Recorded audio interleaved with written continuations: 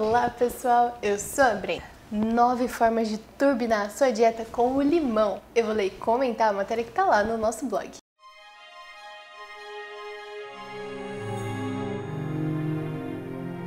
O limão é um poderoso aliado no emagrecimento. Veja algumas dicas para você usar ele. Para regular o metabolismo, tome meio limão com água morna de manhã, em jejum, e 15 minutos antes das refeições. É mesmo, é? Acrescente ao suco de um limão rodelas de gengibre esmagadas e uma pitadinha de sal. Beba uma hora antes das refeições por 8 dias. Para eliminar a gordura, bata no liquidificador um limão inteiro, uma xícara de folhas e talos de hortelã, uma xícara de uvas sem sementes e água. Coe e adicione uma colherzinha de farelo de aveia. Seria meu sonho? Para eliminar as toxinas, você só precisa bater no liquidificador um limão com suco de 3 laranjas, 3 folhas grandes de couve, duas rodelinhas de gengibre e uma colherzinha de chá de sementes de linhaça.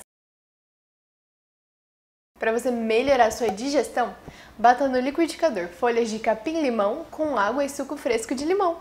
É só coar e beber. Para diminuir a celulite, esquente 2 litros de água e antes de ferver, Coloque a casca e a polpa de uma laranja pera, de um limão e uma colher de sobremesa de sementes de erva doce seca. Deixe em infusão por 10 minutinhos e depois tome ao longo do dia como substituto de água.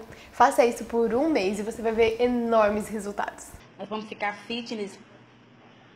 Para ativar o metabolismo, bata duas maçãs descascadas, uma pera, suco de um limão e cinco rodelas de gengibre cru e água de coco. Para combater o inchaço, bata uma fatia grossa de melancia com casca e semente, 5 raminhos de hortelã e um suco de limão. Depois é só coar e beber. E finalmente, para atuar como um laxante natural, bata 3 colheres de sopa do miolo da abóbora com sementes, 3 laranjas com a entrecasca e um suco de limão. Depois é só coar e beber. Existem também outras formas de você usar o limão em prol da sua saúde. Se você quiser ver mais dicas, é só você entrar lá no nosso blog, tem tudo lá. Tem a matéria completa no blog, o link vai ficar aqui embaixo. Dá um joinha, se inscreve no canal e depois de inscrito você já pode clicar no sininho. E é claro, comente à vontade. Um beijão e até a próxima!